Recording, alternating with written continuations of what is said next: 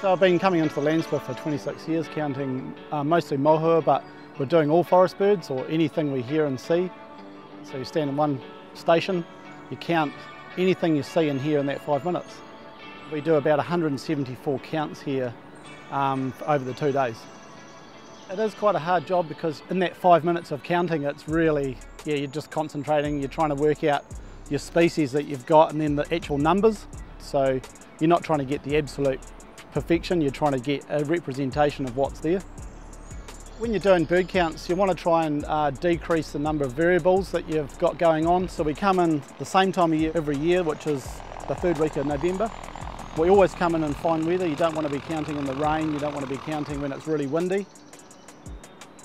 And then we want to use the same observers if we can. And they're people that are competent at doing bird counts. And if we use the same observers, then theoretically, you know, we're getting a, a good data set.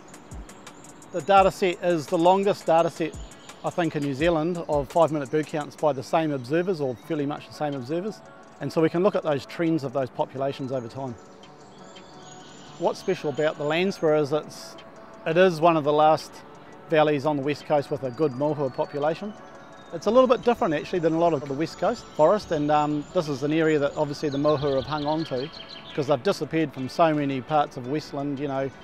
There used to be mohua everywhere. They used to be one of the most abundant birds and now they've just sort of disappeared down to these little, we've got these little clusters all around the South Island where they're, where they're remaining. And this is by far one of the strongholds actually in the South Island, right in this valley. They're an insectivorous bird. They, um, they nest in holes in trees, so they're quite vulnerable to predation.